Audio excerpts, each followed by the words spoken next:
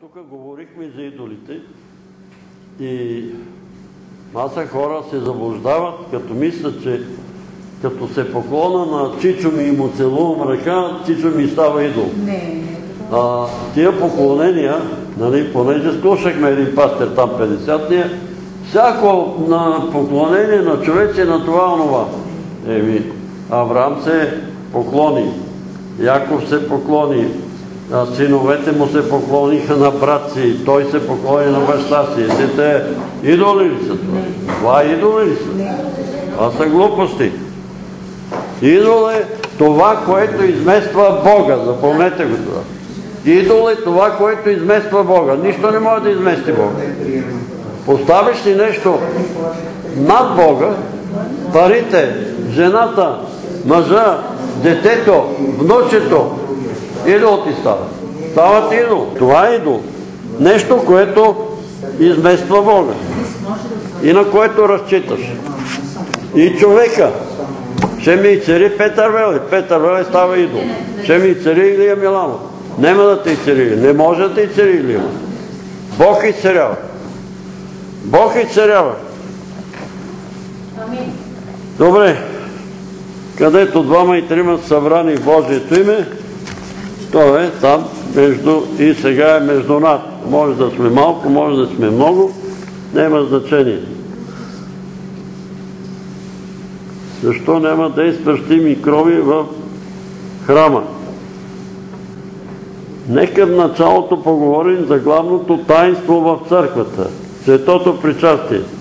Е, еноряшите се причастяват с една лъжичка от църковното наречена лъжицата.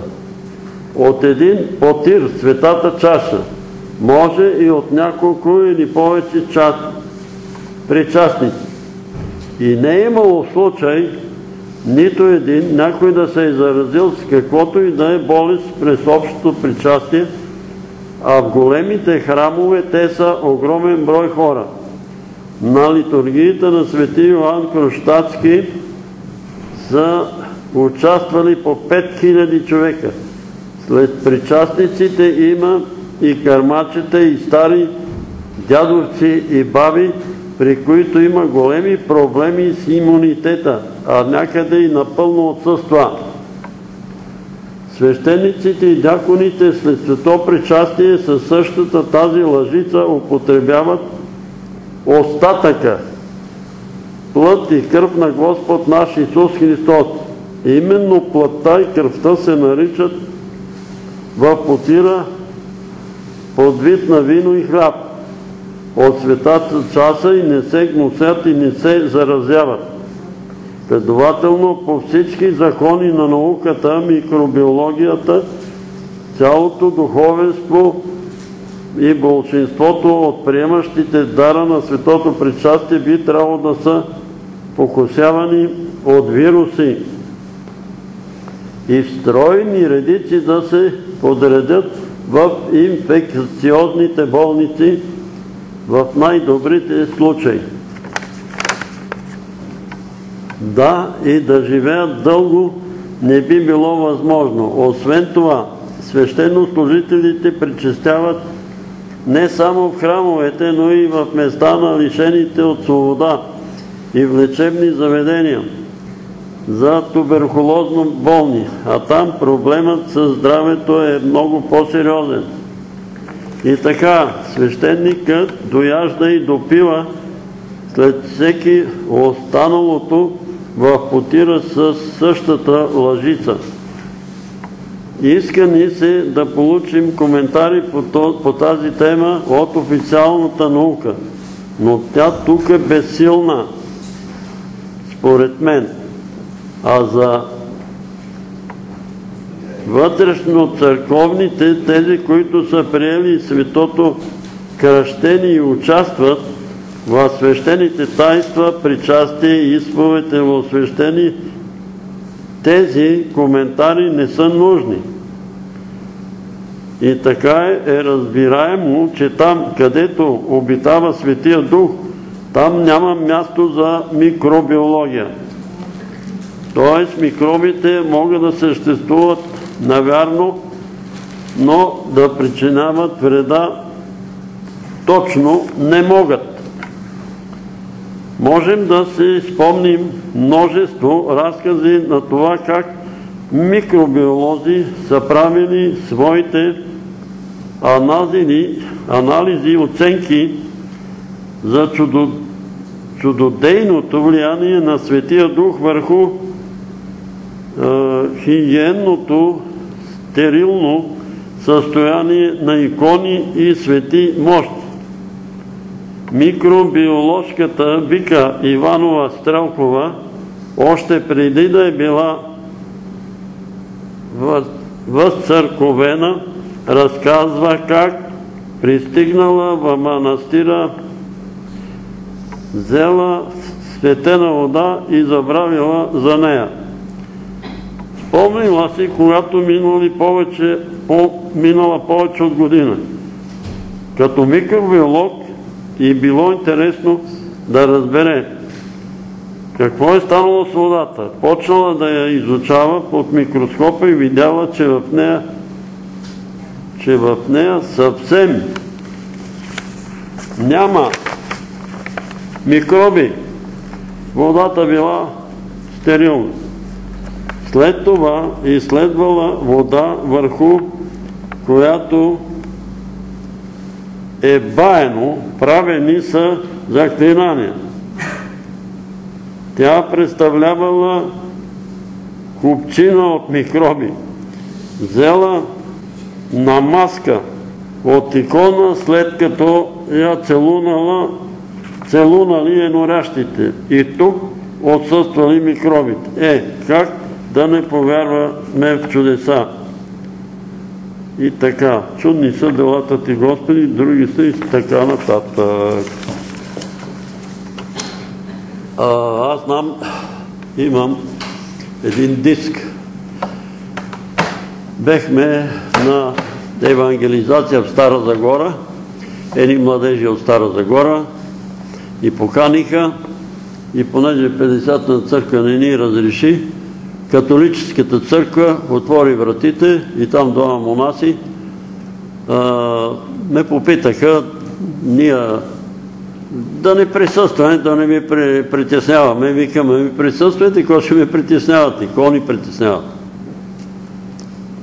И те монаси ми подариха един диск. Дон Боско се казва, живота на един католически свещеник. Мисля, че е чех. По време на чумата той е ходил и е пребързвал болните, носили ме храна. И тогава там митрополита ли, епископа казва, може ли други християни да отидеме да помагаме на, на, на болните от чума? И той им казал, има едно условие, да не са извършили смъртни грехове, иначе ще ги удари чумата. Да не са извършили смъртни грехове. Или ако са извършили, да са се покаяли и да са очистени. Защото ние си мислиме сега, нали, ние това ще четеме тук за трета глава за греховете към римляните, ние си мислиме, че ние сме правени, ние сме правени, 50-ти сме най-прави, православните сме още по-праведни. Обаче истината е, че принадлежността към некоя църква не ти дава пропуск за небесното царство. Това, че си 50-тен християнин, не ти дава пропуск. Дава ти пропуск свидетелството на Святия Дух. Има, нали, препоръчвам ви, четете книгата Пътешественика на Джон Банял. Духовната война. Тия книги са изоставени, къде ние вече сме, ние сме, ние сме, ние сме, ние сме. Истината е, че в момента църквата е разюздана. Това е истина. Не може да се танцува присъствието на Святия Дух. Сестра Майна ще ви каже какво е присъствието на Святия Дух преди църквата тук. Падаме на земята и усещаш помазане и се разтапяш, като почне тълкование. И ние трябва да се молим за тълковател.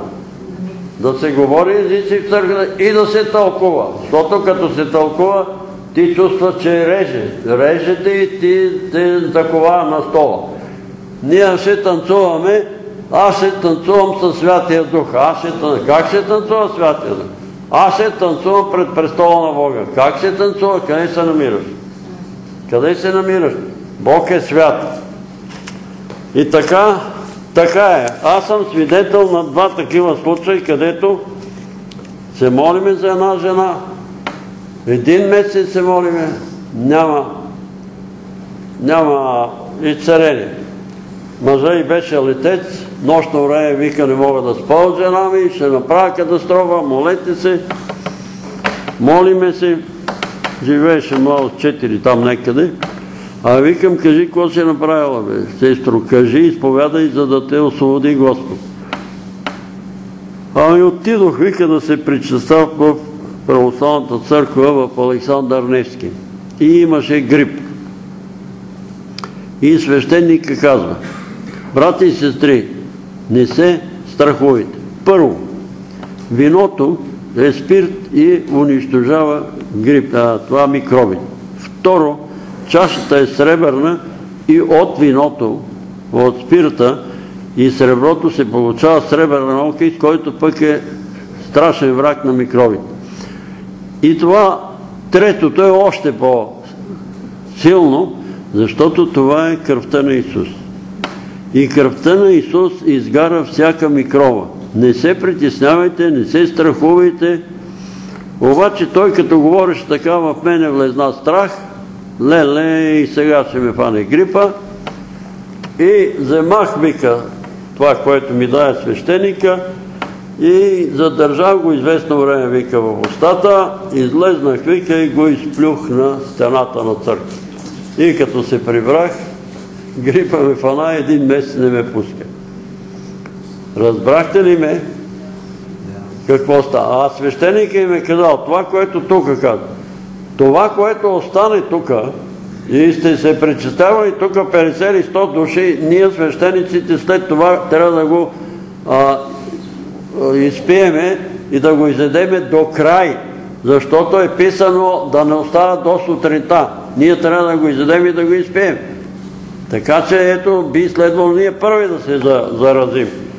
Но когато човек пристъпва с неверие и върши тия неща, другия случай е с една друга сестра Мария, много добра, много гостоприемна, чудесна сестра беше.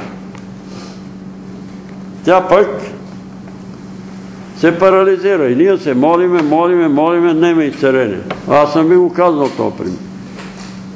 И аз се моля, защо Господи, сестра Мария е парализирана? И сънувам сън, че тя се е наредила на една опашка в църквата Света София. И виждам в съна, че както е свещеника, значи от дясната му страна стои един граман ангел с крила, стои там до свещеник. И тя взема от причастието, мина по край ангела и той с един пръст е докосна тук в ребрата. Е така с пръста си и тя се парализира. И ми се казва в съня, с нощи е пила от бесовската чаша и сега пие от Господната чаша. Викам, какво си ходила предната вечер, къде си ходила? Ами ходих, вика, от любопитство да видя какво става на спиритичните сеанси. От любопитство жената на Лот стана на сол. Не може християнин, новороден, кръстен да ходи, да да му баят. Сега ние се молиме за една Иванка, се обади, като пътувахме, говори некъв дух и каквото чете там Исус е помазаник, духа вика, не е верно, не е помазаник. В нея. Който е дух? Духа на антихриста. Викам, има причина. Имаш ли мозка? Имам. Гледаш ли на нещо? Гледам на карти и на още нещо. Еми, това е духа на Антихриста. Не може, разберете ме. И така ще се молиме за нея, а сега да се изправим. Слава да бъде името Ти, Отче святи и праведни, и събрани сме в името и достоинството на Твоя единороден и възлюблен Син, нашият Господ и Спасител Исус Христос. Погледни на нас през кръвта на Исус, през жертвата на Божия Син и благослови ни, благослови това наше събрание, помилвай ни, утеши ни и цари ни, спаси ни, Господи. Молиме Те, Господи, за всички християни в България и по целия свят. Опази ни от този коронавирус. Молиме Те да опазиш всички наши сънародници.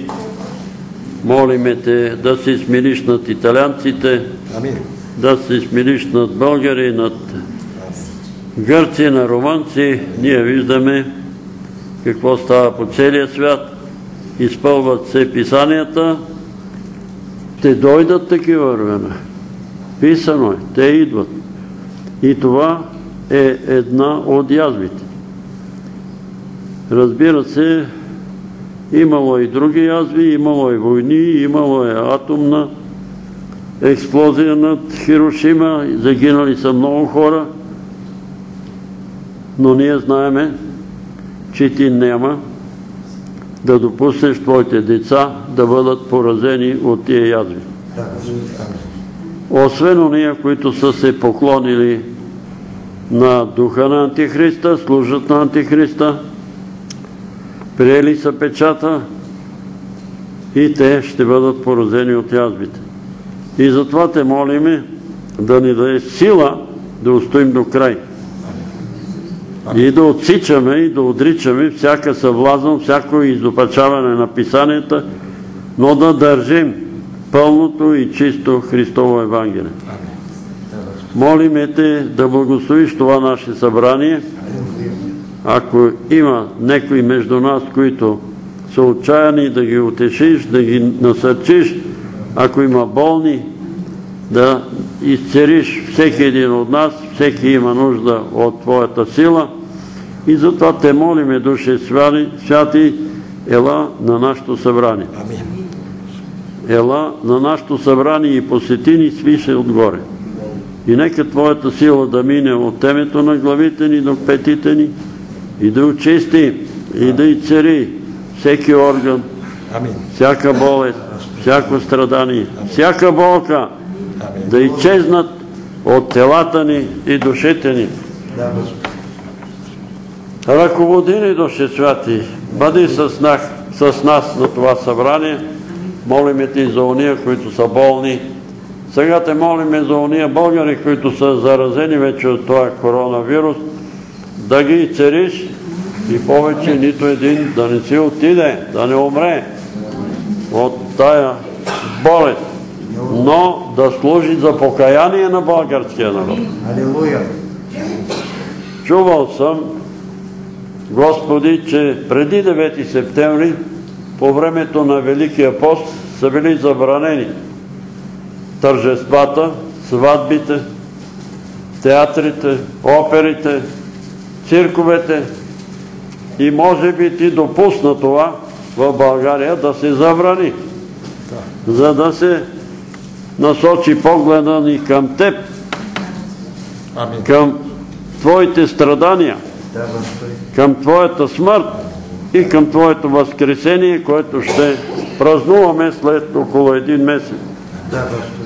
Затова помогни ни, за това да мислим, за това да говорим.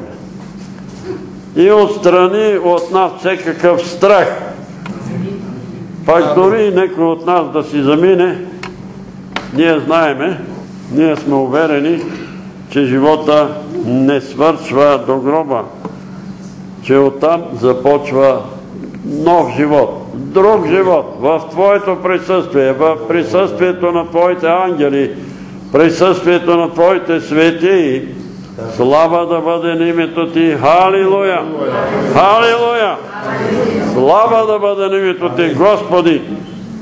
Дай ни благодат за хваление, дай ни благодат за говорене, дай ни благодат за слушане, дай ни благодат за молитва. Слава да бъде ни Душе святи, Ти бъди господар, цар и господар на това събрание, Ти го ръководи, слава, чест и поклон на името Ти, Свято Тройце, един Бог в три лица, Отец, Син и Светия Дух. Амин. Амин. Така, може да седнете. С забрана не става, а с само забрана. С забрана не става, с само забрана. Дисциплина. Да си забраним, само забраним некои работи. Да бъдем дисциплинирани. Моля ви се, не се показвайте много големи герои, защото Бог не благоволява в такива герои. Нали? Аз ще отида, ще направя това, няма. А ти е казал, иди. Ето, запомнете, това е, нали беше дан или дан, дон Боско. Ако некой от вас не е извършил смъртен грях, да заповядат при тия, които са болни от коронавирус, нема да го докосва. Кой не е извършил смъртен грях? Цар Давид какво направи? Убийство и прелюбодеяние. Уби Урия, за да вземе жена. Но се покая. Покая се и Библията казва, че има само един, който не е съгрешил. И това е Исус. И това е Исус. Добре, кажете една песен. 356. Веднъж наближава. Спасна се яви, обречен голяма слава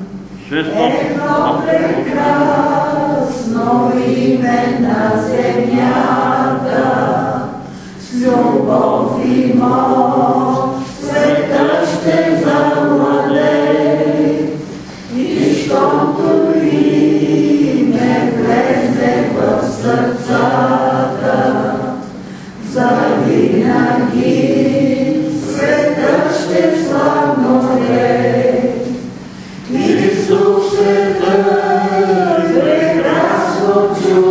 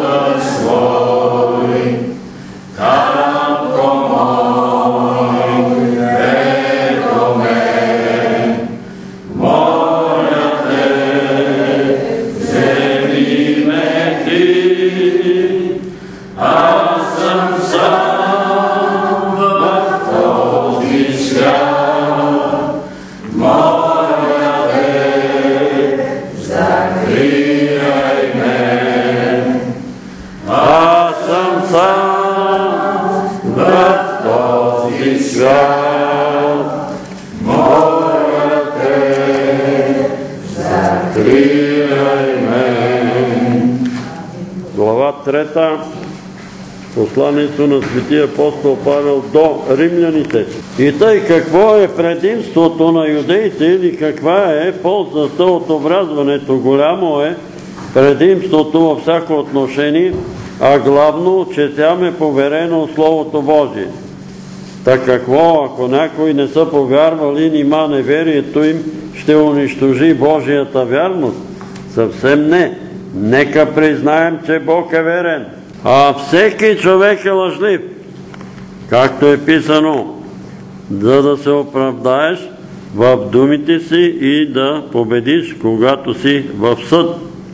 Ако пък нашата неправда изважда наяве правдата Божия, какво да кажем? Нима Бог е несправедлив, кога проявява гняв, по-човешки говоря. Съвсем не, защото инак как Бог ще съди света?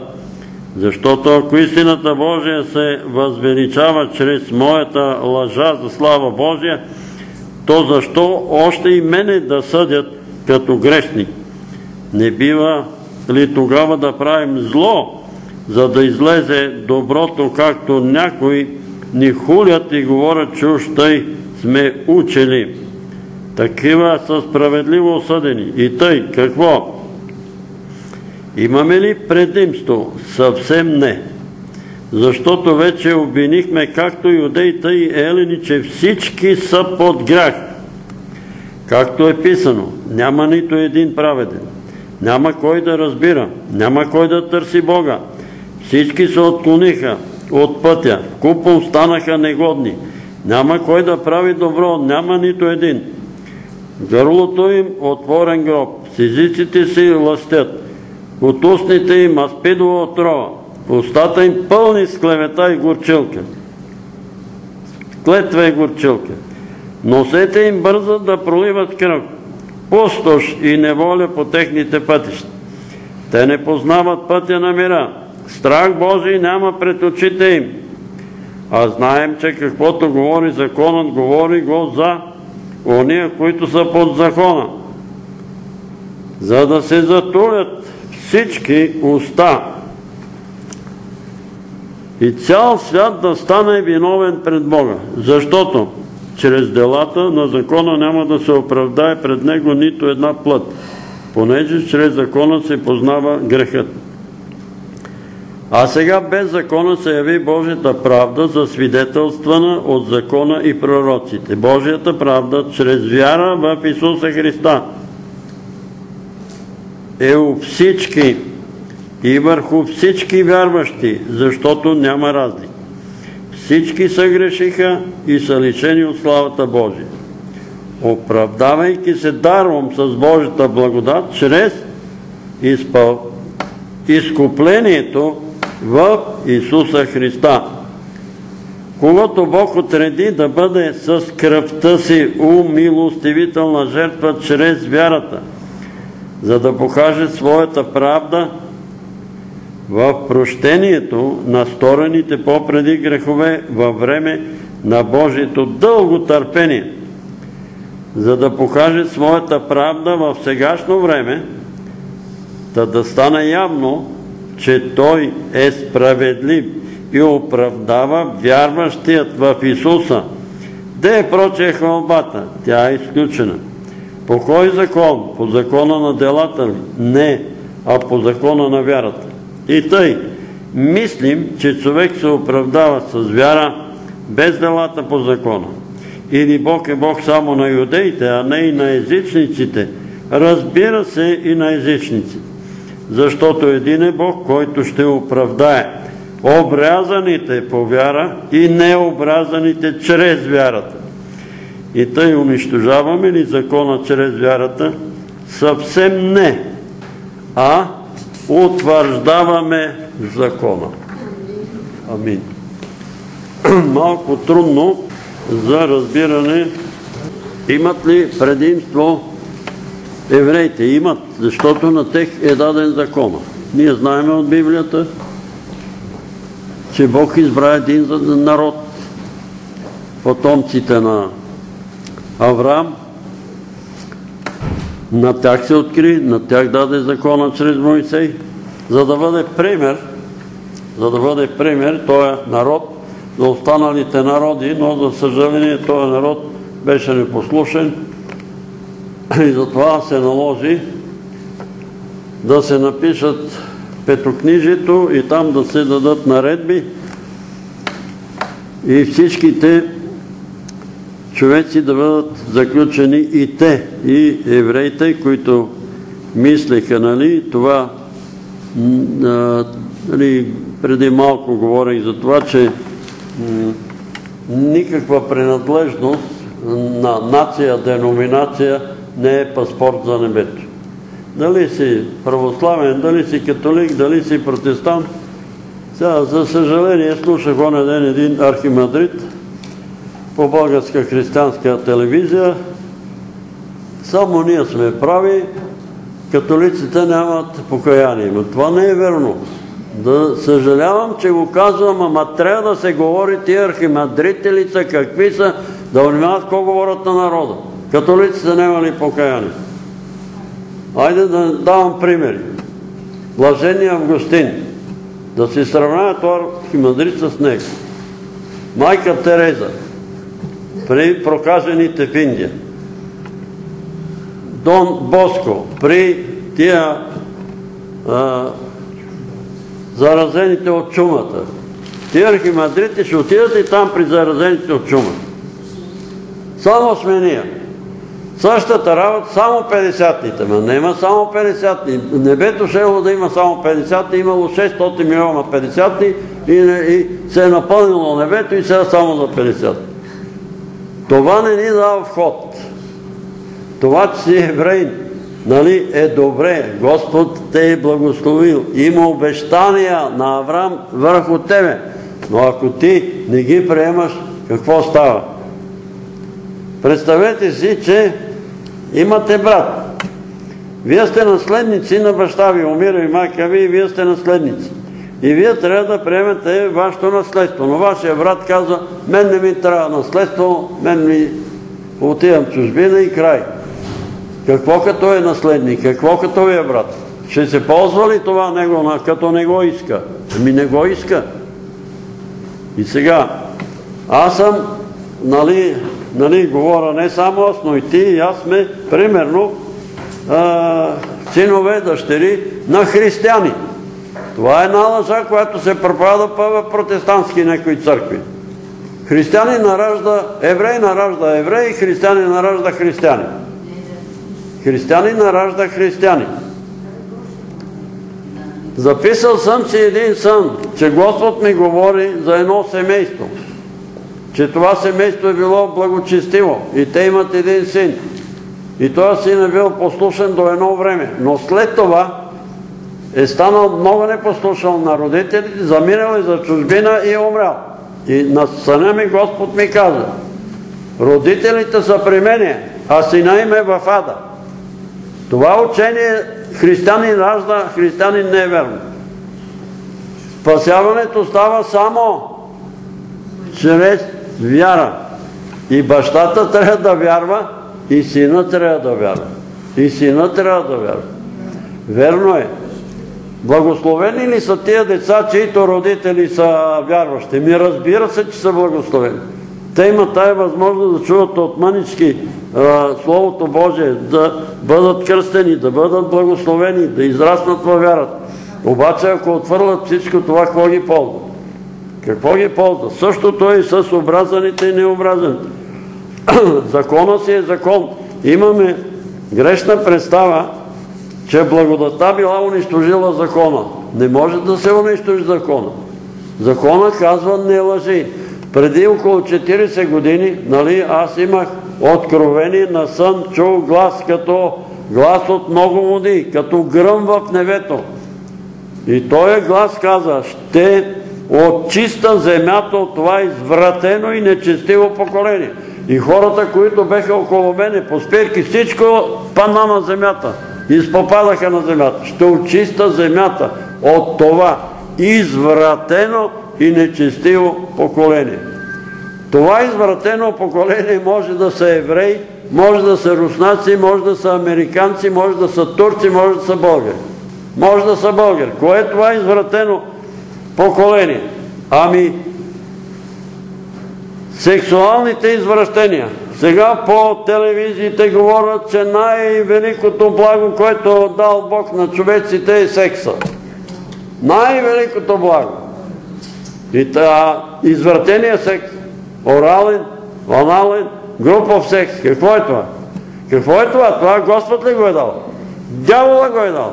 Дявола е извратил. Наистина съгласен съм. Бог даде секса за възпроизводството, но дявола го изврати. Той извръщава всичко. Това са нечестивите хора, които вършат извратени нали, неща и гледат аз знам, че и тук са изповядали, не ви за не го говоря заради вас, но заради всички, които гледат порно. Какво има да гледаш порно? Това е гавра. Гавра с това, което Бог е сътворил. Бог казва, че това, което го направил е добро. Мъжа е направен както трябва, жената е направена както трябва. А това, което се извръщава по телевизии и така нататък, това е от Сатана. Това е дяволско. Ще очиста земята от това извратено Извратено поколение. И нечестиво. Всяко нечестие. Дойде ли време? Това беше преди 40 години. Съм сънувал и така съм започнал мирния договор. Ще очиста земята от това извратено и нечестиво поколение. И сега започна да, да я чисти. И аз сънувах няколко сънища, разказвал съм ги по-отделно. Първият сън, че изкачваме на планина с един православен свещеник и с детето му. Той остана в подножието на върха, а аз реших да се кача горе на върха. Като се кача горе на върха и погледнах от върха, видях огромна територия от земята, пустош, пустош. Ужас сме изпълни. Нема една тревичка, нема едно листенце. Всичко опустошено. Втория сън. Пак се изкачвам. Само че сега на изток върва. Там пък планини, огромни планини, същата пустош. И третия сън е, че виждам пак така се изкачвам и виждам едно поле. Пак унищожено, нали, дървета, храсти, всичко е унищожено, като атомна чили война е имало. И чувам, започва очистването на земята от търни, бодили и плевели. Започва очистването на земята от търни, бодили и плевели. Всеки да си прави сметка. Дали е плодоносно дърво църквата или е. И сега, оная вечер, виждам една гора, нали, като казаха вече, че преди две вечери беше, във видение една гора и една брадва мина, отсече едно дърво. След това по-натам отсече още едно. Две дървета отсече брадвата. Това виждам, това казвам. Не знам кои са тия дървета. Йоан казва, дърво, което надава плод, брадвата стои до корена и какво ще стане? Ще бъде отсечен. И за това трябва да даваме плод на покаяние. Идете и изторете, направете плод на покаяние. Какво е станало, какво говори сега тук апостол Павел, като ги цитира тия един след друг, един след друг, той е направил така една, събрал е от, от едно место, от псалмите, от Езекил, от притчи, от, от а, Исаия, най-различни и ги е събрал на едно место, нали, това, което е писано, както е писано, няма нито един праведен, няма кой да разбира, няма кой да търси Бога. Всички се отклониха от пътя, купом станаха негодни, няма кой да прави добро, няма нито един. Няма нито един. Псалом 13, 12 и 13 ги е комбинирал. Там, между другото, казва, извършиха гнусни дела. Гърлото им отворен гроб с езиците си ласкаят, от устните има спидова. Това е. Това е днеска света. Няма кой да върши добро. Всички се отклониха. Всички станаха негодни. Устата им клевета и горчилка, нозете им бързат да проливат кръв, пустош и неволя по техните пътища. Те не познават пътя на мира. Защо? Защото няма страх Божий. Няма страх Божий в тях. Ако имаше страх Божий, щеха да се възпират от тия безобразия. А знаем, че каквото говори законът, говори го за уния, които са под закон. И тук се злоупотреба с благодата, край сме по благодат, може да си послъгваме, може да си откраднеме, ние не, си крад, ние не крадеме, а си взимаме, нали?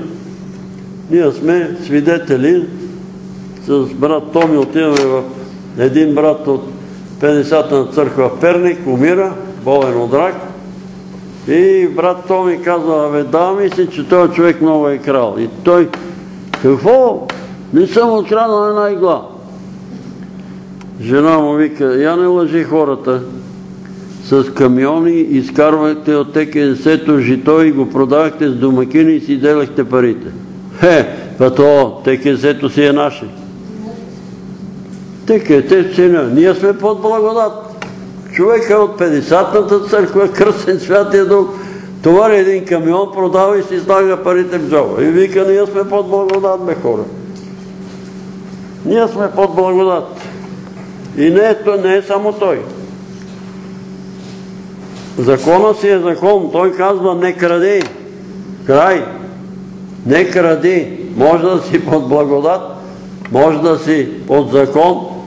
Той, който изпълнява закона и не краде, той ще бъде оправдан, че не е крал. По този параграф. Ама и той е християнина, който е под благодат и не краде, той ще бъде оправдан по благодат. И сега Бог затвори всички в грах, за да може да ги да ни оправдае. И сега некои са говорили и са проповядали, че апостол Павел е проповядвал, че трябва много да грешиме, за да се открои Божията милост. Защото колко един човек е по-грешен, Бог като го помилва, тогава се показва, че Божията милост е по-голяма. И обяснява, нали, че така изопачават думите му и се стараят, но наистина, като се сравни Божията любов и Божията милост с нашите грехове и нашето отстъпление, се вижда колко е голяма Божията милост за нас да даде собствения си син. И по-надолу ни обяснява, че оправданието ни е чрез Божията милост, чрез жертвата на Господ Исус Христос, който направи своя син о милостивителна жертва, знаете от закона, Стария завет, че ако някой беше извършил смъртен грях, той трябваше да отиде да принесе жертва и с на тая жертва да бъде поръсен, да бъде освободен. Освен това, когато имаше мор, като в Египет, вие знаете какво стана, какво заповяда Господ? Да се избере едно агне без недостатък. Без недостатък. И на 14-тия ден на месеца ви надвечер агнето да се заколи, да се опече с безквасен хляб, с горчиви треви и с обуща на краката, набързо да се изяде до сутринта. И това агне символизира, а от кръвта му да помажат двата спонци на вратата и горния прак. И сега, когато ние взимаме кръвта на Исус и пиеме от тази кръв, ние помазваме устните си с кръвта на Исус и ангела минава и тия, които са вземали от тази кръв, ги отминава. А ония, които казват това не е кръвта на Исус, ангела ще ги помете, като синовете, сина на фараона и на египтяните. И затова това, което са писали тия там е, свещеници нали, от руската църква, че причастието е за защита, а не за карване микроби в устата на християните. И ние така трябва да го приемеме. Но ако кажеме, това не е Христовата кръв, това не е Христовото тяло, това е символ, няма да ни ползва. Няма да ни ползва. Това е символ. Не е символ. Исус каза, когато говорите пастири, защото ги слушам по българска християнска телевизия, говорят, това не е кръвта на Исус. А какво е? Изкарвате Исус Христос лъжец. Той казва, това е моята кръв, която за вас се пролива. моята кръв. Вземете и пийте от нея, всички, пийте. Това е моето тяло. Ама той още не беше, вика, а, разпънат, къде му е кръвта. Но това е Бог. Кой направи кръвта на Адам? Откъде дойде кръвта на Адам? Нали? Той чрез него. Чрез него беше направена кръвта на Адам. Не знам откъде е дошло, но го вярвам, че това е кръвта на Исус. А имам и потвърждения, нали казвал съм. Когато тук Количев се молише за кръвта, за освещаване на кръвта, аз видях отгоре от небето, една струйка кръв влиза в чашата. Влиза в чашата и го пия като кръв.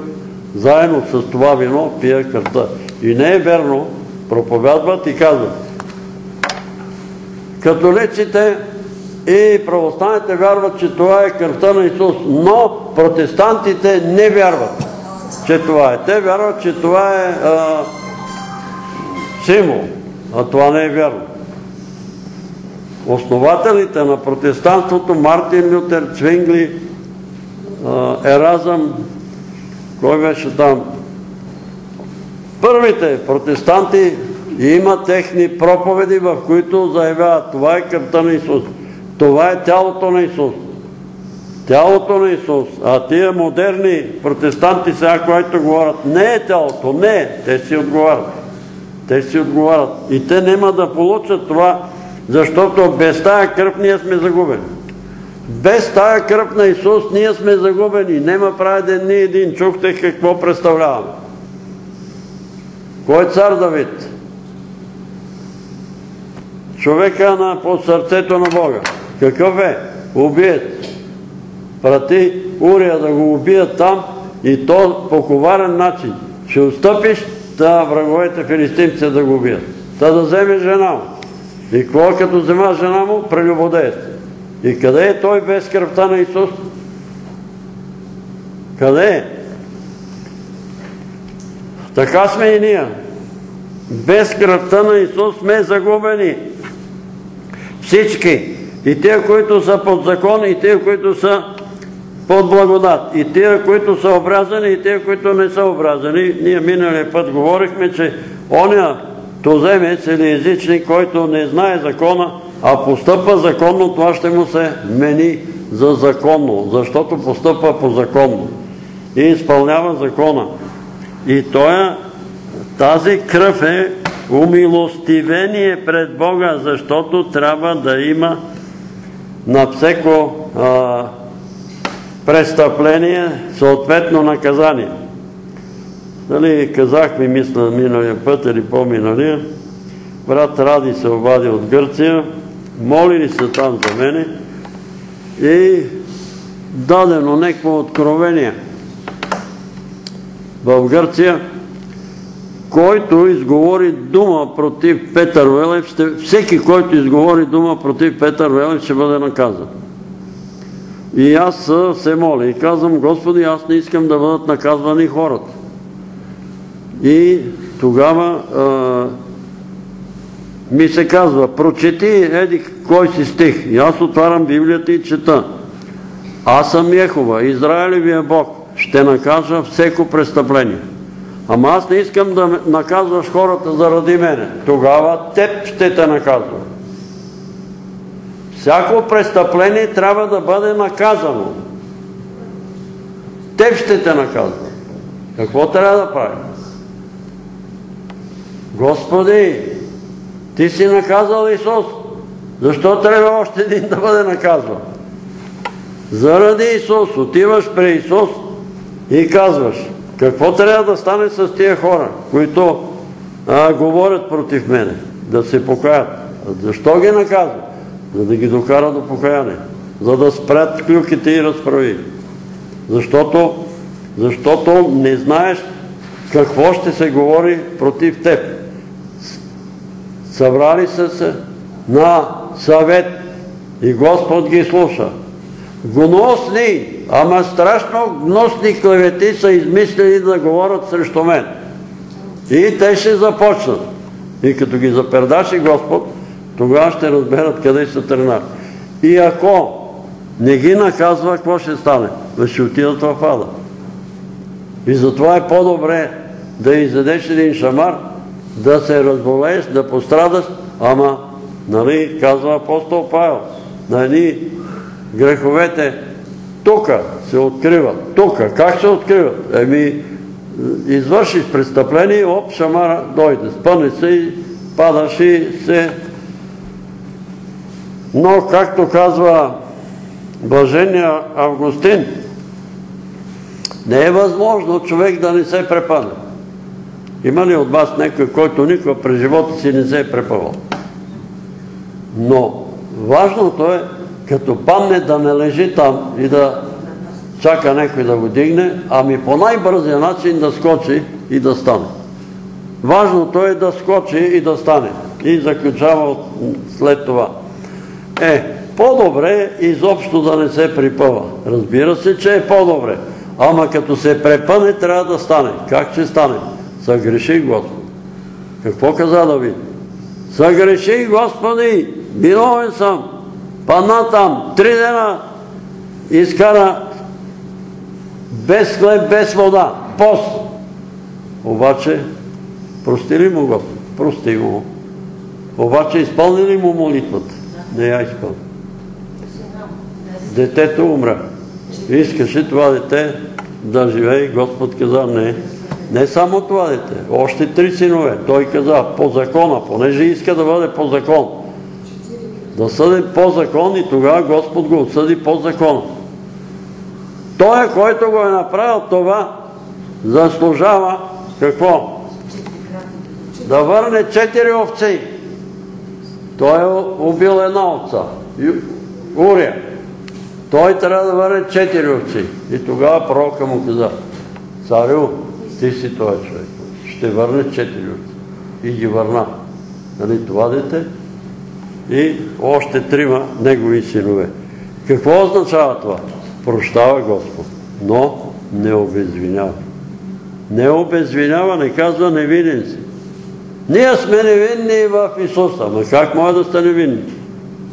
Вие сте оправдани в кръвта, но не сте невинни. Бог те оправдава, но помни, че и благодари, че благодарение на Неговата кръв, благодарение на Неговата жертва, благодарение на Неговата жертва, ти си жив и ще бъдеш спасен и ще живееш вечен живот, ако опазиш вярата до край.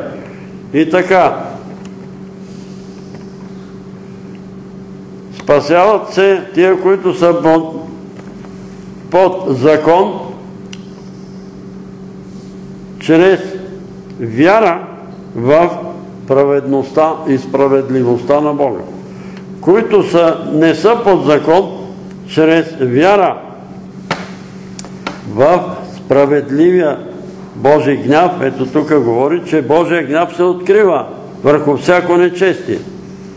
И той се открива и Господ търпи, търпи и започва да чисти земята от това извратено и нечестиво поколение. Във всеки мирен договор съм го записал. Чух глас от небето като грам. Ще очиста земята от това извратено и нечестиво поколение. Извратено, говориме, извратен сек, извратен ум, извратено поведение, магиосничества, сатанински дела и така нататък, всичко това е извратено. И нечестието, коварството, лъжата, измамата, ограбването на населението. Вижте какво става. Китайците имат една пословица. Всеки, който получава пари, за които не се е трудил, да знае, че друг се е трудил за тех и не ги е получил. А точно там, не знам, Димчо, ако може да ви го пусне това, където са им казали, нас не ни трябва, Исус не ни трябва Евангелие, дай ни пари. Дай ни пари. И аз го вярвам, че е така, защото аз съм го говорил на мои роднини. И им казвам, ей хора, ще станем пред Божието съдилище. Ще отговаряме. Този живот тук дали 50-100 години да живееш, 300 да живееш, пак ще си отидеш. Ще застанем пред Божието. Абе не ми дай, Петре, не ми дай акъл, дай ми пари. И тия хора се разболяха от рак. И аз отивам при тях. Викам, имаш ли пари? Искаш ли да дам парите? Колко пари ти трябва да бъдеш изцелен от рака? Парите ще те изцелят ли? Не могат. Не могат. Не могат да изцелят. Не сме против парите. Бог, нали, всеки си получава заплата, наследство получава от, от баща, от майка. Но, дай ми пари. Отвърлят Исус и какво става тогава? Той си само си се отдалечава. И тогава идва другия. И той ги съсипва. И той ги унищожава. Сега, относно този коронавирус, ние трябва да бъдем по-дисциплинирани от другите. По-дисциплиниран, смисъл такъв, че да пазиме другите хора.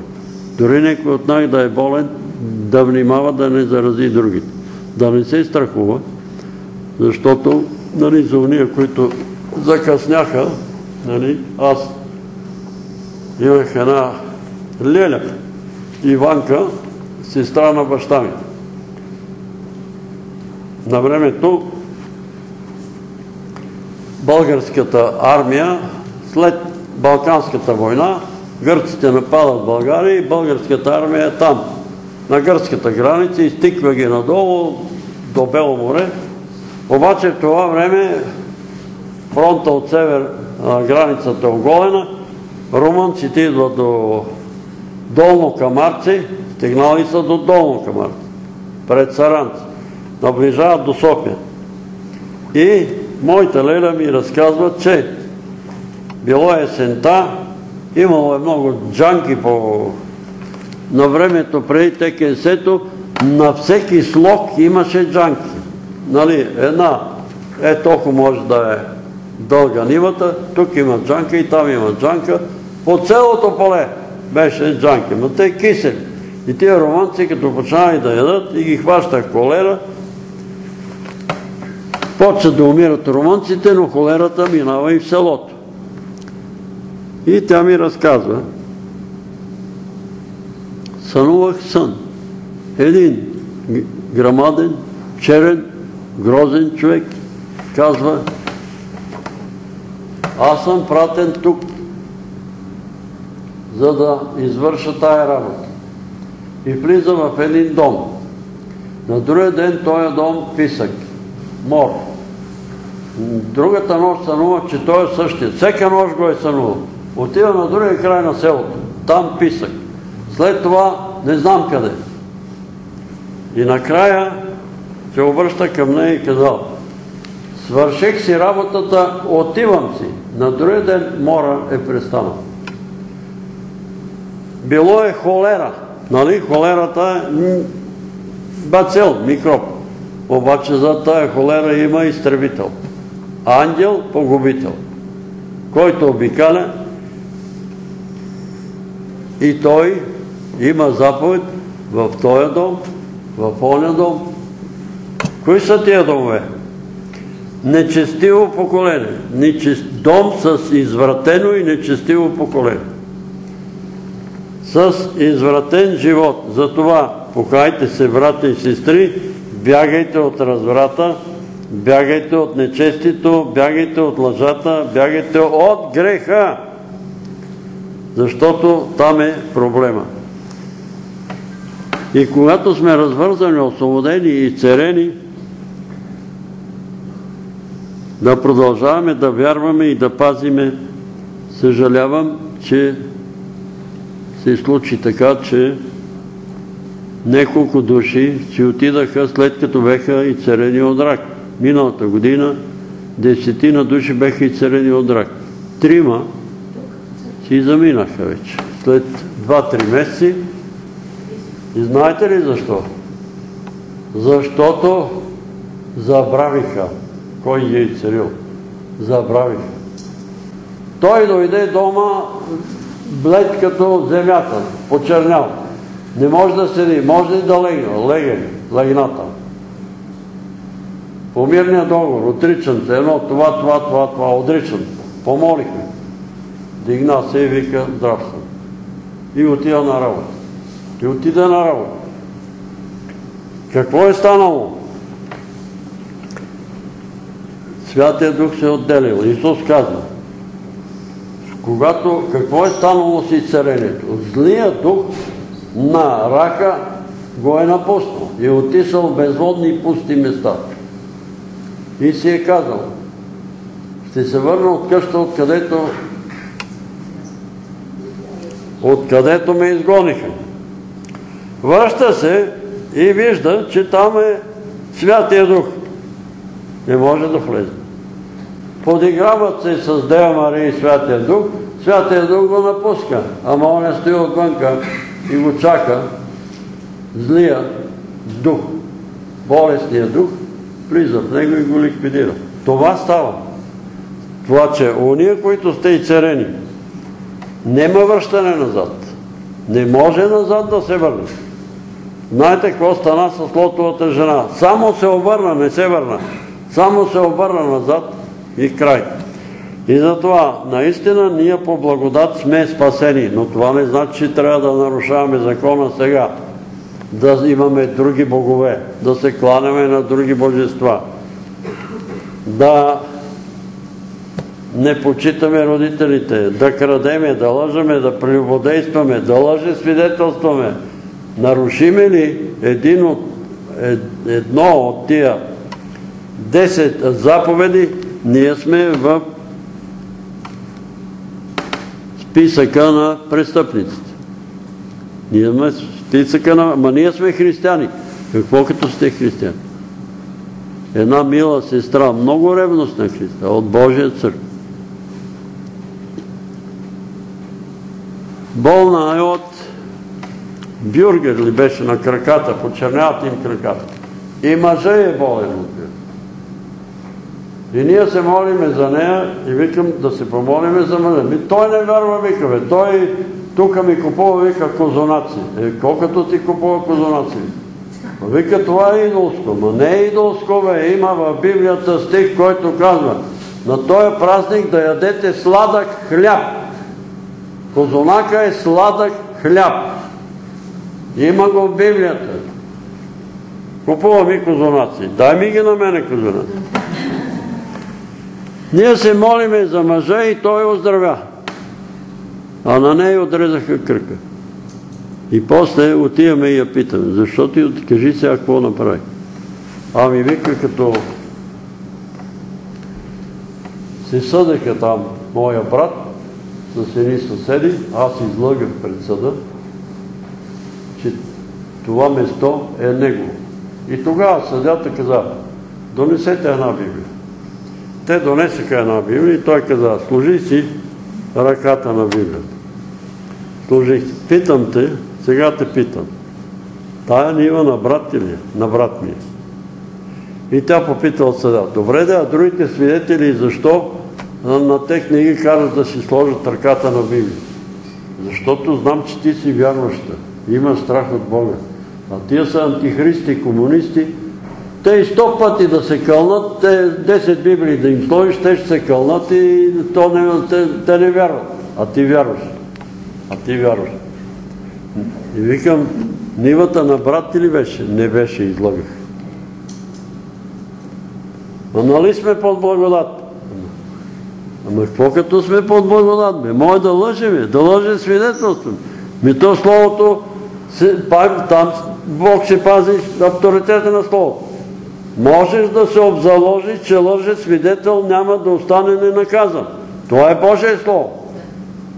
Напротив, като си християнин ще говориш истината. Димчо го съдат и той какво да прави? Адвоката нещо ще оправи работа. Нема ще говори само истината, никакъв адвокат. Излизаш там и говориш истината. И съди, като го пита, какво искаш от мен? Ами най-малкото наказание. И адвоката почва да говори. Ама тя, ама чакай това. И съди къде. Искаш ли да го вкарам в затвора? Е, това ще направи са. Искаш ли? Караш го да излъже И като излъжа, аз ще го карам в затвора. Ама и да не го вкарам в затвора, той ще си удари, ще удари, Бог ще го удари, защото лъжи, лъжи свидетел. И затова не знам, затова на мен ми е казан, съди и адвокати не и царя. Съди и адвокати не и царя. Нали? Защо, какво правят съдите, те си знаят. И какво? Каза му там само нещо, пробация ли се казва да се разписва и толкова. Най-малкото наказание. Кога? Когато говориш истина. Защо? Защото Бог е истина. Говори истината и не се бой. Тогава Бог ще направи и голем престъпник си, да си. Господ ще направи съдята да покаже милост към теб. Когато лъжиш, Бог ще жесточи сърцето на съдята и ще ти даде големото наказание. Истината. Така че не можем да нарушаваме Божите заповеди. Така. Ние сме под благодат. Ние сме под благодат. Вие сте под благодат, обаче има много примери в Библията, където апостол Павел към евреите предупреждава. Не остава вече никаква жертва за грях. Оня, който един път е вкусил от добрата реч Божия, от силата на Божия дух, изпълнен е бил с Божия дух и след това своеволно греше, не остава вече жертва за грях. А некакво си страшно негодование. И това страшно негодование се излива чрез мор, чрез земетръс, чрез бедствия, чрез глад и така нататък. Не се подавайте на паника, обаждат ми се от Германия, от Италия, казват, моловете се опразниха, купуват една сестра ми се обажда, тук, нали, мила сестра, тя имаше, беше бременна, може някой да си спомня, тук е една пълничка, е там сядаше. И лекарите беха казали, детето трябва да се махне, това дете ще бъде с аномалия. И мъжа и обаче казва, детето няма да се пипа. С аномалия, какво ще да е детето, това дете е моя, ние си го гледаме и така нататък. Ама не, то трябва, няма да пипате детето, мъжа и. Излезна тук, молихме се, роди това детенце, живо и здраво, и сега е живо и здраво, расте, живо и здраво. И сега ме пита да вземе ли такива детски пюрета поне за 2-3 месеца. Абе, не взимай никакви детски пюрета. Не се запасявайте. Но това коронавирус няма да е 3-4 месеца. Ще си мине и си замине. Не се запасявайте, това е страх.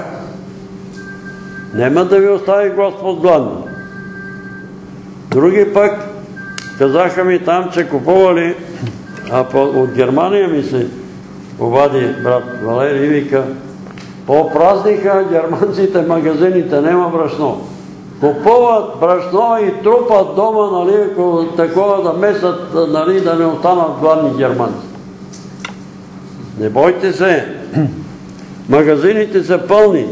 Мелницата е пълна тук в София. Нали виждате какви се лози има грамадни там, на сточна гара.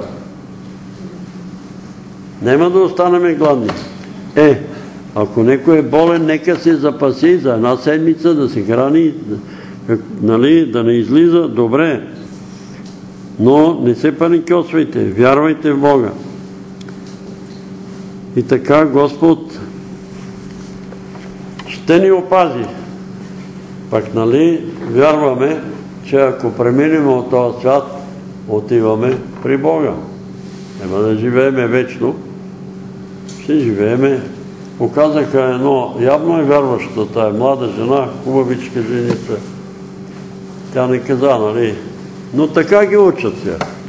Това е лъжа, което говорят евангелските пастири, аз не съм религиозен. Ми, щом не си религиозен, значи си атеист.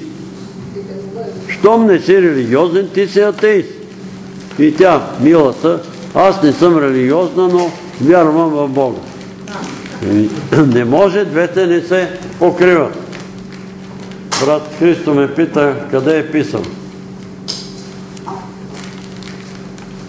Решение на Централния комитет на партията номер А 344 от 57 година между ленинизъма, марксизъма, ленинизъма и религията няма нищо общо. Това са две съвсем противоположни идеологии. Съвсем противоположни. И когато един пастир казва, аз не съм религиозен, той марксист ли е? Марксист ли е, щом не е религиозен? Лен, Ленин, Ленинист ли е? Какъв е? Съвсем противоположни идеологии. Под религиозни те разбират обрядни, че се занимават с някакви обряди. Обаче и в евангелските църкви има обряди. Има кръщения. Нали? Има кръщения. И то в течаща вода, нали? трябва да бъде в течаща вода. Има обряд. Господна трапеза. Некои спазват още един обрат. Измиване на краката. Нали? Преди или след Господна вечера. Макар, че малко са го обръкали. Защото той е станало преди няколко дни, на същия ден, когато е Господната вечера. Защото там това беше друга вечера, която се говори за краката. Защото там пише Исус взема, натопи къде? В блюдото. Не натопи в кръвта, а в блюдото и даде на Юда. И той взема и след залъга влезна сатана в него и той отиде и го предаде. Така че според Йоан Юда не е участвал в Господната вечера. Макар че аз чувам пастири казват, ето, яде от Господната, от кръвта, пива и това, каква кръв? Па Юда па отиде да го предаде. Това е друг залък. Запомнете го. Намерете го там. 13 глава от Йоанна. И вижте. Йоан го пита. Кой той е? Той е на когото затопя от залъка от блюдото. И натопи един залък от блюдото, а не от кръвта, не от това, което Исус установи. Даде му на Юда и той яде. И след залъга влезна сатана в него. И отиде и го предаде. Аз съм слушал, нали, пастор. Ето, Юда пи от виното яде от хляба, ако беше така, защо отиде? Не е пил. Не е пил от кръвта. Юда е ял от блюдото. Яде от паската, от старозаветната еврейска паска. Това е ял Юда. И след залага отиде и го предаде. Сега ще се молиме. Нали, казах ви вече, една сестра ми се обади по телефона и негодува, защо съм се молил за нея. Нейната дъщеря ми написа една бележка, аз се молих. Кой те е казал да се моли за мен? Аз не искам ти да се моли за мен. И затова ми казвам, питайте хората, които ги предлагат, искате ли да се молят там на болина? Искате ли да си неем разправи и под? Защото вие виждате, съседа е болен и да се молиме за моя съсед. Да се молиме. И аз съм същия. Моя съсед, Гошо, разболя се от рак на простата. И аз вземах една жена му, Рустина, даде ми един потник, молихме се, занесох го аз там, на първият етаж живееше, Гошо, така и така, майк, това, твоята другарка, твоята жена е вярваща, ето даде ми един потник, молихме се, ние вярваме, Господ може да те изцели. Аз съм свидетел на изцелени хора от рак. Той се усмихна, горкия измъчен. Пешо, не вярвам. Не го иска. И след два дена си отидеш. Не иска човек. Какво е станало? Исус е влезнал в неговия дом с мене. Нали? Исус върви с нас. Влиза там и му казва, Георги, Гочо, искаш ли да си спаси душата ти? Искаш ли да бъдеш изцелен? Не, не вярвам. И Исус си отива. Въпрос на вяра. Не може на сила. Не може. И затова ви казвам тия бележки, където ги давате, съобразявайте се, питайте ги тия хора, искате ли да се молиме за вас? Разбира се, аз искам да се моли целият свят за мене, Нали, обаче има хора, които не искат да се молят. Ето казвам и тази стара не годува, защо сме се молили за нея. И сега има проблем и няма да се моля за нея. Дъщеря вика, моли се за майка ми, няма да се моля. Тя, тя да ми каже, моли се. А защо го казва? Кой си ти, къв си да се моли за мене? Защо? Отгоре. Отгоре. Брат Тодор Стругара за изцеление от много болести, за сила да може да посещава църквата. Сестра Верка, да се молиме за нейния Симеон, да се молиме за три дечица, майката на Анастасия и за нея самата. Тя ги разказа там колко Емили едното момиченце, другата е Зара и едно момченце Борислав и нейната дъщеря Анастасия. Те са между 3, 2,5, 3, 4 там на такива. И тия четири деца са болнички, да се молиме Господ да се смили на тия дечица. Исус казва, оставете децата да дойдат при мене. Нали, тия майки искат да се молиме за техните деца. Кажете ви, ако имате нещо свидетелство, защото много е важно, може тия свидетелства да не са кой знае колко важни, колко велики, но как сте повярвали, как ви е запазил Господ, как ви е помогнал, тия свидетелства ни насърчават. Кажи, брат Ясин. Искам да благодаря на Господ, защото преди около по-миналата седмица май беше, бях хванал един вирус, но Бог ме запази да няма осложнение. Обикновено протича с осложнение и даже май, май ме изцели. Мисля, че ме изцели му благодаря на Бога. Благодаря ако може се... Слава на Бога. За мен, защото май съм възкинал малко махне тази. Благодаря. Не винаги, нали, има, е, то е пълно с вируси, дето вика Панчо, а другия Панчо днеска, като се събрахме, тук толкова у нас вика пълно с вируси, е така е. Не може да се опазим, ако Господ не ни опази. Но Господ ни пази и ние вярваме, че когато сме в молитва и най-вече, когато сме в Божието присъствие, Неговата сила минава през нас и ни очиства. Ние нямаме представа как, колко пъти Господ ни е пазил без ние да знаем. Нали, аз бех заразен от такъв вирус, кашлях температура 38,9, след това 38,4, 38,2 и след това пък обратно стана на 35,9. Почнах да изтивам. Нали, чета там в интернет, това е след преболедуване от грип, може температурата да падне под 36, да не се плашите, ако се случи нещо такова. Но ако падне под 34-33, вече изтивате и заминавате. Нали? Изтивате. Благодаря на всички, които са се молили за мене. Обадиха ми се от Станко от Дупница, молиме се за тебе. Кюстендил, молиме се за тебе. Германия, молиме се за тебе. И други. Молиме се от Варна, от Плевен, молиме се за тебе. Бог да ги благослови. Нали? Но има един период, където минаваме през разни изпитания. Нали? Аз ви казах по-миналия път, че Господ допуска по този начин ни учи. Нали? Тук ли е Гергине, тук ли си? Ето го.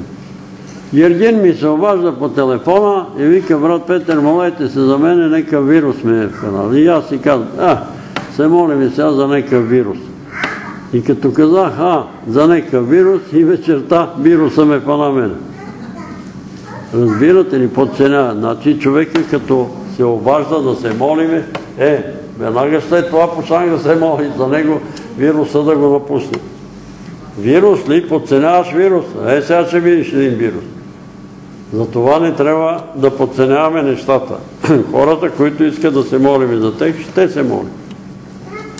Ако има някой да каже нещо да прослави Бога, така че кажи си това. Аз също искам да похваля Бога за му, дали се молихме, правиха му скенер на главата, защото Да. болеше и му се въртеше и, и правиха му скенер и се молихме и на скенера не е показало, че нищо няма. Няма нищо. Да. Слава на Бога. Ема е духовно нещо тогава. Да, но сега пък, пак истинал е. Истинал е сега и няма температура, но има кашлица, има крема. Да се помолим. Настинал е, но има и друго нещо. Има такива случаи, нали, без да е настинал. Нали, говоря по телефона и некоя особено мила сестра, сега, не вчера, оня ден, нали, той ще ме чуе ясен, ама не той е ясен, а от Варна има един ясен. Един час и 30 минути. Бар, бар, бар, бар. И накрая ме заболе главата. И заболеме. Има мили сестри, като ме хване някаква сестра и като започна в две, ходих там, готвих това, онова, не знам кой е един час. И главата ме заболи. И тя не е ни от настинка, ни от, а от телефона. А от телефона. И затова ми мол- моля ми се, кой се обади? Сестра Гинка, тук ли си? Е, Днеска ми се обади. Брат Петър, ще има ли служба на Бога? Да, се. Добре. До скоро. Е, това е разговор. Това е разговор. Какво ще ми обясняваш, какво си готвила, къде си годила, къде... Не ме занимайте часове, моля се. И аз търпа, ама да не ви оскърба. И като спре ясен, един час и 30 минути, след това се обади някой друг. След това и сестра ми се обади, след това и вечерта главата ми бръмна. Ми не може, не може това облъчване. Добре, Да, и благодаря на Бога, че оня ден сина ми е изсекал една джамка клоните пред а, блока и падна един клон, който благодаря на Бога, че само го е тук, го е наранил но ги е запазил и него и мъжа ми, защото нали, слава на Бога. Господ го опази. Не знам дали знаеш, ти знаеш брат Пейл. Кой? Пейл. Знам го, да. Така, неговия племенник фактически, аз чрез него съм повярвала, а, обаче изведнъж чух много страшно нещо по-миналата година, както секал някакво дърво в банки, пада и, го, и на место. Той на место почина, този младия Любо. Той почина.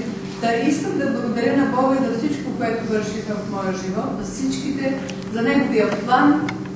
А, много Слава на Бога. Тони сутринта си замина, каза, поздрави ги а, и не може едва ми издържа да спи, ма трябва да спи 4 месеца още и да се връща. А замина ли си? Сутринта, да. да. Ами, Не може да издържа там, никъде бъркал съм, не съм послушал. Абе, вижте какво, разбирам, всеки иска да има хубава кола, хубав апартамент. Ама апостол Павел казва, и с малко мога, и с много мога, с по-малко също може. Аз си спомням, и не мога да забравя този случай. Бил съм на банкети в Одеса, в Белград, в не знам къде по света, ма банкети. Пълно е със ядене и пиене. Но съм забрал какво съм ял. Обаче един сиромах ме покана, брат Димитър, клисар в църквата на Подуене там. Един следобед Говорихме, говорихме, говорихме там пред Александър Невски, не там пред Света София в градинката. Говорихме за Бога, говорихме и той ни покани 5-6 души. Елате да ви на гости. И знаете какво ни на гости? нареза две глави лук с малко оливия, позапържи ги малко, сложи 3-4 лъжици брашно, сипа и червен пипер и го забърка това и стана една каша, на всеки по една каша, една паричка. Ама ядохме каша, ама толкова сладка тая каша, ама никъде не съм ял такава вкусна храна. Защо? Ме защото при цялото време си говорихме за Господ. И съм я запомнил тая каша и мисля си и сега някой път да си направя аз такава каша. Една глава лук, малко брашно, кашичка и манджа идеална. Сега задоволявайте се с това, което имате. Благодарете на Бога за всичко. Не се равнявайте против големци, защото ето ги сега съобщават. Той е загубил 80 милиарда е загубил някой милионер там, милиардер от а, тая криза сега. Ми ще загуби, ама той няма да умре гад. Той няма да умре от гад. Добре, други нужди има ли? Нужди. Брат Христо казва.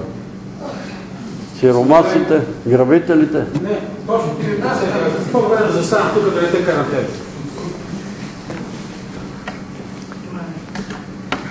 Господи Исусе Христе, Силе Божие, моля те, подари покаяние на народа български, Господи, защото намаляваме от година на година, а и сега този мор ни заплашва да ни умори още повече, Боже. Покажи милост, Господи, защото само по милост може да оцелеме. Молим те, освори България от духа на Антихриста и защити беззащитните Господи, мъчени, тормозени от нечестиви зли, алчни, силни, с сила и власт от Тебе, човеци, грабители, огнетители, притеснители, мърсници, лъсци, мошеници, измамници, разбойници и всякакви други нечестиви човеци. Всички, много от между нас сме били такива, но сега не желаем повече да бъдем такива, Боже. Моля те, прости греховете ни, защити ни и ни освободи от тях. И всичко това просим и молим в името на Отца, Сина и Светия Дух. Амин. Амин. Аз съм го писал некъде, това е преди 50 или 60 години. Тогава посещавах 50-та църква на Бачокиро и имах един сън, че някой говори от Дамона, зад него е карта на България и той казва ако българите не се покаяте, България ще изчезне от лицето на земята. От картата на България ще изчезне от лицето на земята. И тогава аз се молих, тая нощ се събуди, Господи, нали, знам Авраам как се е молил там за Содом и Гомор, ти си справедлив и не може заедно с непокаяните да унищожиш и покаяните българи. Ами, тия, които са се покаяли, къде да отидат? Това казвам, това чувам, това казвам. Покаяните българи ще си образуват нова България на американския континент. Нова България на американския континент. И сега а, президента ходи в Штатите и казва, че в Чикаго има 350 хиляди, или Бойко каза, 350 хиляди българи в Чикаго. В Америка има град София, има град Монтана, има град София, има други градове, български градове с българско население. България ще бъде унищожена, ако българите не се покаем. А ако се покаяме, България ще стане райска градина. Какво трябва да правим? Да вършиме правда. Да не лъмтим толкова. Сега са се наплашили Народно събрание. Не се страхувам, не искам да ги плаша, но аз съм записал, кога съм го сънувал този сън. Сънувам, че се намирам там, дето беше студентския, не град, а студентския дом. Той е на същия площад пред Народното събрание от среща. Той е опожарен, там сега го ремонтират. Над него, над него, и виждам, че между Народното събрание, некъде там а, там отсреща е БАМ, Свети Александър Невски и Светия Синод. Един отвор, толкова голем отвор. Обаче виждам разрез на земята. Както отвора, така разрез. И надолу, отдолу огнено езеро. И наблюдавам отгоре. Излиза човек от Народно събрание, върва, върви, бум, пада долу в огън. Излиза от Александър Невски, бум, долу. Излиза от БАМ, ходи, ходи, ходи. Спане се, падна и пада долу в огън. И чувам падането на падналите. Кои са паднали? Които са паднали в грехове. Трябва да се покаят. Изпълних се с ужас. Това е елита на България. Бан, Светия Синод, Народно събрание падат в огъните. В огъня падат. Така че не е толкова страшно. Сега много са се оплашили, не пускат журналисти, никой не пуска Народно събрание да не се заразат. Добре, нека тия мерки са добри, правилни. Ама другото падане, другото падане, как ще, как ще се избавите от него? Какво да направят? Покаяние. Дойде един там народен представител дома, не мога да спа. Спа, вика, на лампа. Защо спиш на лампа? Вика, имам много пари. Значи, не знам колко пари имам, обаче спа, вика, на лампа. Защо спиш на лампа, ми човек? Ти вярваш ли Бога? Вярвам. Вярваш ли, че Исус има? Вярваме. Вярваш ли, че е умрял от дева, че е умрял на Голгота на кръста? Да. Че е роден от дева? Да. Че е възхран? Да. Защо те е страх? От какво те е страх? Не знам. А ходиш ли на гледачка? Ми да, вика, аз познавам тая гледачката на Берлускони, вика, българ. Е, какво правиш при нея? Какво правиш при нея? А ти самия нещо не гледаш? О, гледам, вика, аз гледам на карти Тарови. Но нема да спиш, не на, на осветление, ма и осветлението няма да ти помогне. Нема да ти помогне.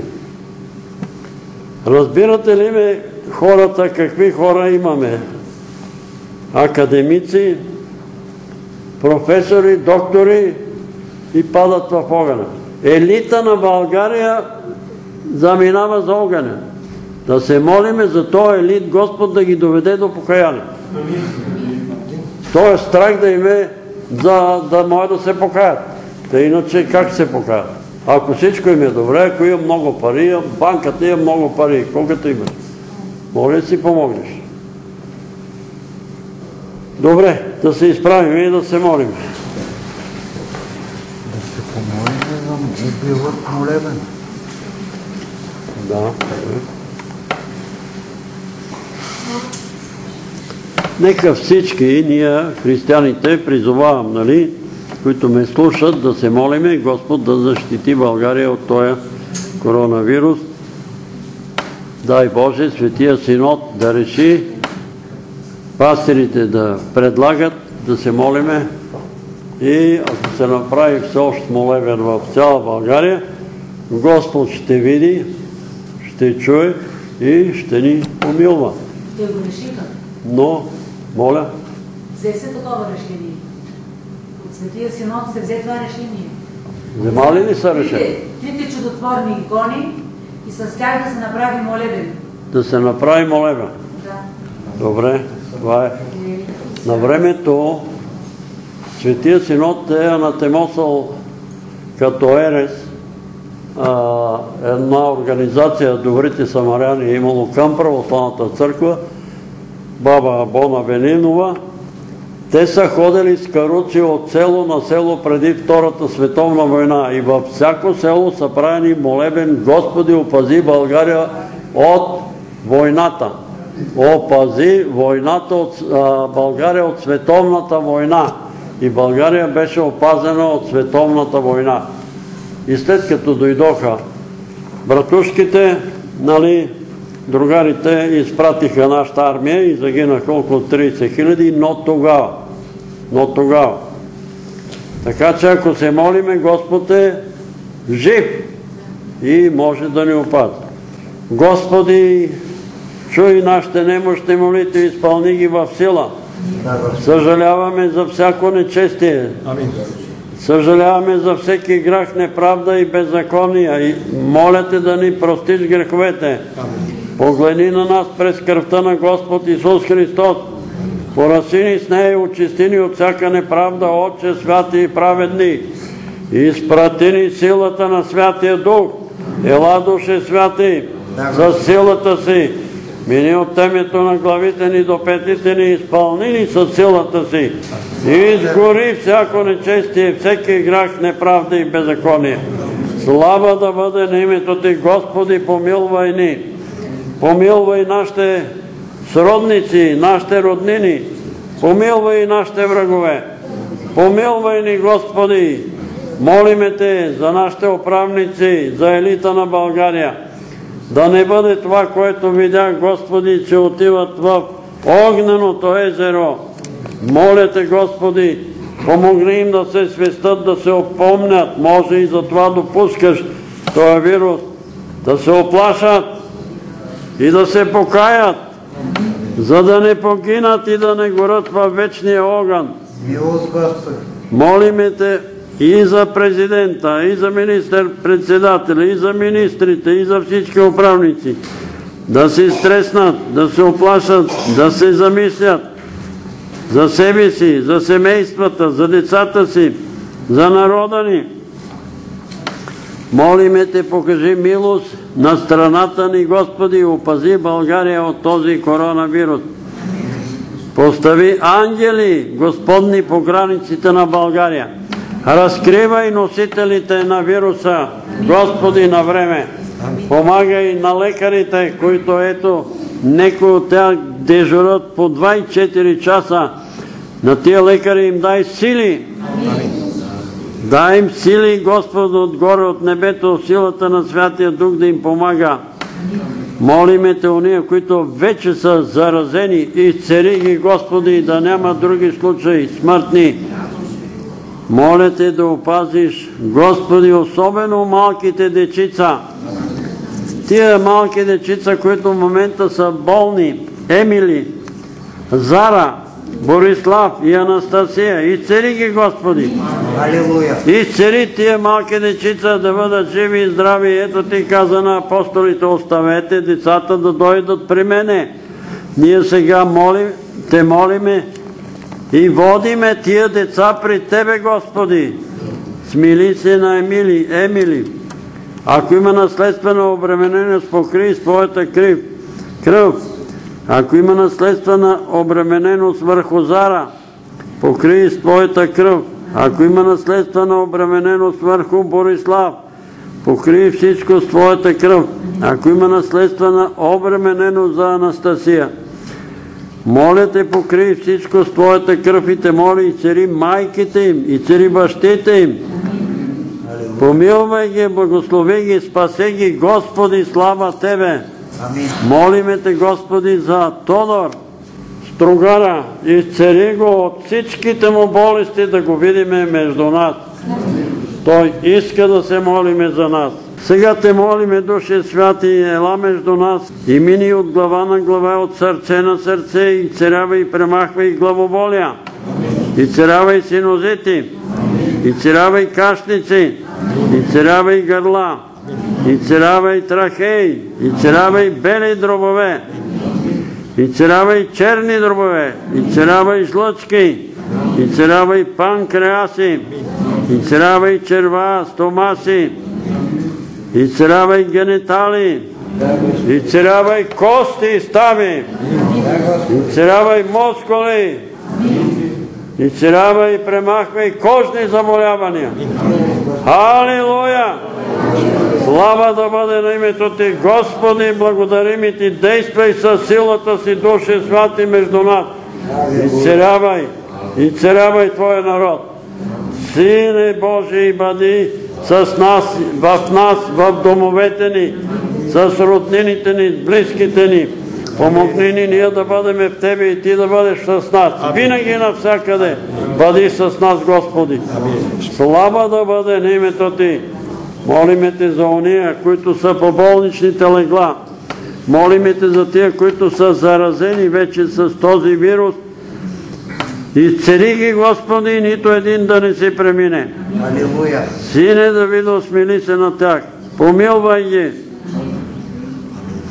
Молиме те, Господи, за нашите братя и сестри в Китай, за нашите братя и сестри в Япония, Корея, в Италия, в Германия. Молиме те за нашите сънародници по лицето на целия свят, Сингапур, в Штатите, в Канада. Пази ги, Господи, и помагай им. Слава да бъде името Ти, благодариме Ти. Господи на силите. И сега желаеме всички заедно да Ти се помолиме с молитвата, с която Твоя син ни е научил да се молим и като се молиме да казваме Отче наш, който си на небесата, да се святи Твоето име, да дойде Твоето царство, да бъде Твоята воля, както на небето, така и за земята. Хлябът наш насъщни, дай го нам днес и прости ни дълговете наши, както и ние прощаваме на нашите длъжници.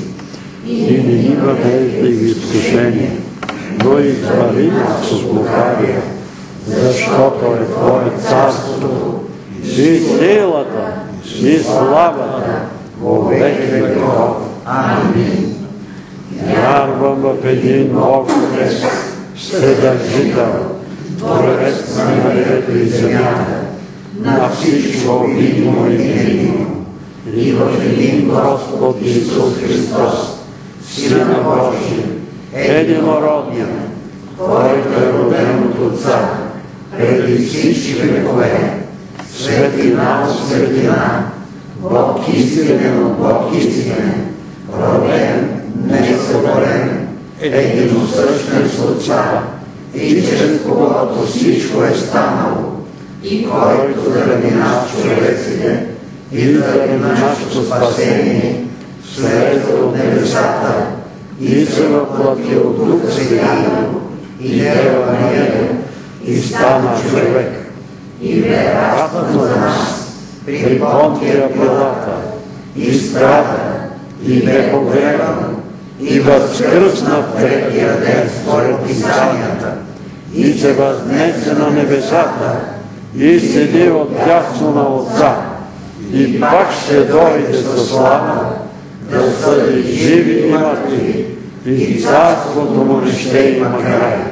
И Дух Святия, Господа, животворящия, който от Отца изхожда, комуто се покланяме и го славиме, наравно с Отца и и който е говорил чрез пророците, една свята, вселенска и апостолска църква.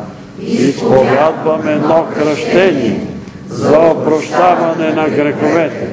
Чакам възкресението на мъртвите и живот в бъдещия век. Амин. Може да седнете, ако има некои откровение. Откровение или пък може да имате нещо, въпроси към прочетеното. Започват с молитва за народа ни. Да. За народа български започва, така да почне молитвата. Да. Застанете в пролома. Това ми се втори, трети път ми казва. Застанете в пролома. Молитва редовна за прошка греховете на народа. Добре е да има и пост. Сега е пости, който може един ден, два дена, един ден, защото Така. има значение. И пак повторя, опази България от инфекция или беше от този вируса. Да. Чувам. Духовна дезинфекция. Минимално. Отче наш два-три пъти дневно, плюс пазене от греха. Има бяс, който е, знаете, нали? Той е вирус, който влиза в мозък на го. Има лекарство против бяс. Освен това, Библията казва, че Бог даде лечебни свойства на тревите. Е, това казах и аз чул. Но има нещо друго. Един, една нощ сънувах, че съм Раковска и тази улица, как се казваше, която идва от Министерския съвет към паметника Лески, минава долу по край опера. Дондоков. Върва по Дондоков и пред мен върви Господ Исус Христос и се обръща към мен и казва в последно време медицинските групи на дановистите и окултистите ще бъдат употребени от черния Карл. И аз казах, Господи, кой е този черен Карл? Дяволът медицинските групи на дановисти, които се занимават масово с такива билки и така нататък. Но друго исках да ви кажа. Преди около 50 години сънувах сън, че в семената на жълтата акация има лекарство против детския паралич. И аз го казах от Амбона преди 50 или 60 години. И сега Мартин от Силистра ми се обажда майка му и казва, тя го е чула и го е запомнила, защото Мартин е болен от детски паралич. Брат Петре съобщиха, че в Украина са открили лекарство в семената на жълтата акация против паралича. И сега аз се молих за този вирус, но не се молих точно Господи открий ми. И пред лицето ми виждам едно цвете, което се казва куковича плюнка или куковичо грозне, плюнка. И го виждам заедно с растението, заедно с листенцата и разбирам, като го виждам това видението, че в него има лекарство против отрова, против тия вирус. И, брат, аз съм ми изпраща нещо там по интернет и аз чета. Патриарха на Грузия е имал видение. Едно момченце плюе, плюнка и прави кръст. И той чува. Това е лекарството против вируса. Плюнка, на мен ми се казва Куковича плюнка, а па той вижда плюнка. Така че ония специалисти да се хванат с това цвете и да видят каква отрова има, защото сигурно има отрова в това цвете. нали, знаете го това цвете. Едно такова тъничко с едни като зърнца, сини. билкарите го бъркат с бял и мел. Нали? Питам една билка там, имате ли кукови? Да, имаме, ето това е. Взимам го, това бял и мел. Ама викам, бял и мел е друго, бе, то е бяло. А това е синьо. Не, не, кукович да пъм бял и мел. Нали така го знаят там по техните книги. Не знам дали го знаете това цветенце, маленко с едни като точици синичко. Тия, които се занимават да вземат, да изследват, да видят и да потърсят. 50 години минаха, когато на мене ми Господ ми откри, че в жълтата. Е, това е, да, ето, куковича. А, така ли се казва? Куковича? Плюнка. Грозде пише. Средногорска, средногорска куковича плюнка. Или куковича Това в грозд. нашия двор ние сме го. То се продава на луковички в На лукович. магазините. магазините и може да си го насадиш. Ама не го пийте, защото ще се отровите. Ние казваме специалистите да вземат и да видят. Да видят. А не, че... Но въпреки това, никакво лекарство, тук съм съгласен с Панчо, че ако човека има смъртни грехове, каквито и лекарства да пие, няма да стане. Но тия хора казват, че в Украина вече произвеждат лекарство от жълтата акация, ама аз съм го казал това преди 60 години. Показва ми се зло и казва, тук в семената има лекарство против детски паралич. Но тия семена са много отровни, да не ги пипат, да потърсят специалистите. А защо трябваше след 60 години да го откриват? Така и тия сята, които са специалисти, да се панат, да пинат това, да видят това растенице, да го изследват, да видят какви химикали има, какви елементи и да помагат на уния, които вярват, на които не вярват, няма как да им помогне, защото това е демон. Ама те няма, те ще се подиграят. А аз съм сигурен, че това, като го чуят, ще се подиграят, даже ще го пуснат по телевизия. Ето, тия се подиграват тук, евангелисти измислиха лекарството. И се подиграят и ще издадат шамара тук. За брат Тодор, Тругаря. Тругаря. Виждам един спрял локомотив парен, черен, голям. Спрял е обаче. За онези, които са в българите по света, ще помогна на верните, които са верни, на тях ще им помогна. Да се изправиме и да завършим. И сега благодата на нашия Господ Исус Христос, любовта на Бога Отца, общението и ръководството на Святия Божий Дух да бъде с всички нас, с домовете ни, с децата ви, с църквата на Господ Исус Христос на това място, в град София, цяла България, в Израел. И в целия свят, от сега и до века. Амин. До нови срещи.